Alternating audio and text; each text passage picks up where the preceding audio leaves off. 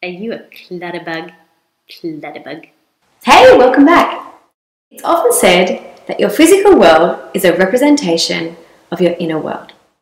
And something I believe very strongly as an ex interior architect is that your physical space affects you emotionally, mentally, and spiritually as well.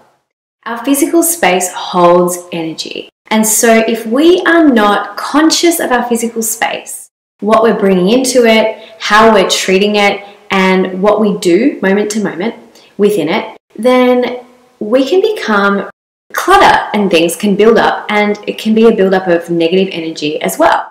So, I did a post on this a couple of years ago, and it was called Zen Your Den. And I'd really like to extend that idea today and share with you a couple of tips to help you with not only zenning your den, you can go and watch that video, it's pretty uh, ancient now, but not only that, but also to help you to complete the cycle and find more rhythm in your daily activities, which is going to help you relax more at night, as in switch off after work, and also set yourself up with an awesome ritual in the morning or a great start to the day.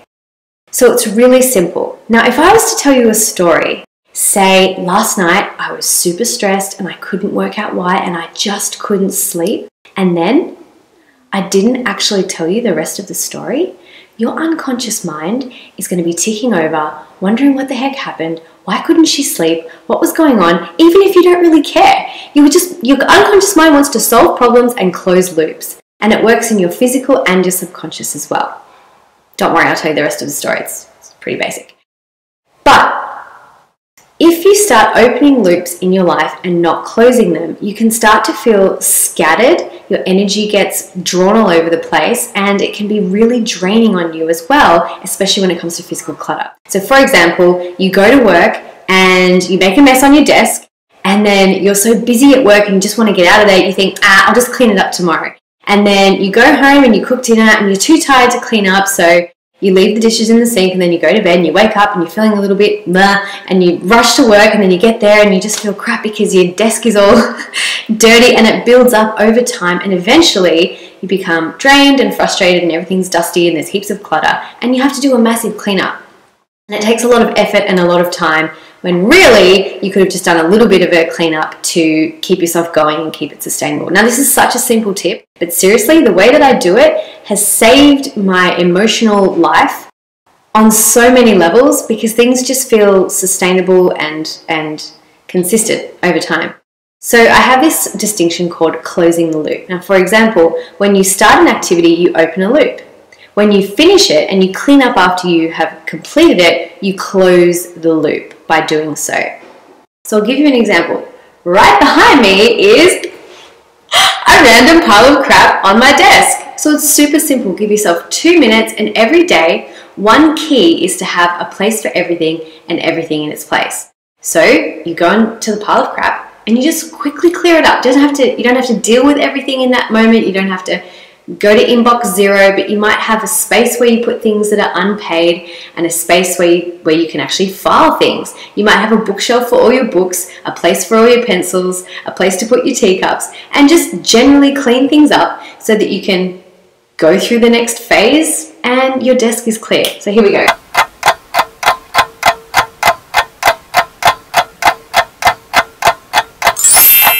And there you have it. Simple, quick, effective, very, very fast, but it's going to allow me to come into my office tomorrow and everything is fresh and I can sit down and start with a clear mind instead of bombarding up against all the promises of yesterday that haven't been fulfilled. It's like starting your day by looking at social media or reading your emails before you've even had a moment to yourself, which is a whole nother blog post in and of itself, right? This is just about you having some little ritual and cleaning up after yourself. Now, how do you make this practical? How do you make it fit into your day? And more importantly, how do we make it joyful? So I have a tip for you. Reward yourself. Now, it doesn't have to be a bunch of flowers or something amazing every single day, but it could just be that all of the things you do in a day that make you feel amazing or that make you feel good or that are your little treats or break times, place them after you've actually done something that helps you stay consistent. For example, you might want to get your daily coffee. And so you make sure that in the morning, after breakfast, your bed's made, your um, your breakfast is cleaned up, or you've eaten breakfast, and then your reward can be to go out and get your morning coffee before work. You're going to do it anyway, but it feels so nice to have it as a reward for taking care of yourself previously. It might be that you have a really nice evening ritual. You take a bath, you moisturize your whole body, you listen to some nice music, do some meditation or some yoga. And it might just be that instead of doing that and leaving the whole pile of crap in the kitchen to clean up, you make sure that dinner is complete and everything's cleaned up and put away before you then go and start your evening ritual. Or it might be that before you go home or before you finish work every single day, your reward is finishing work. And before you do it, you spend five minutes just clearing up your desk and making a quick plan for the next day. And then you go out, have a glass of wine, do whatever you do after work, and really enjoy it as a, the reward for doing what you want to do. Now, I think it's really important to mention at this point please do not beat yourself up if you feel like your house looks like a bomb hit it because you've got kids and you're thinking, that is so unrealistic, Hayley. it's literally impossible. And by the way, that pile of crap, you ain't seen a pile of crap because that is very small and that does not compare to the pile of crap that is in my house. I hear ya. Okay, and what I'm saying is, done is better than perfect. Off the desk is better than all over the desk.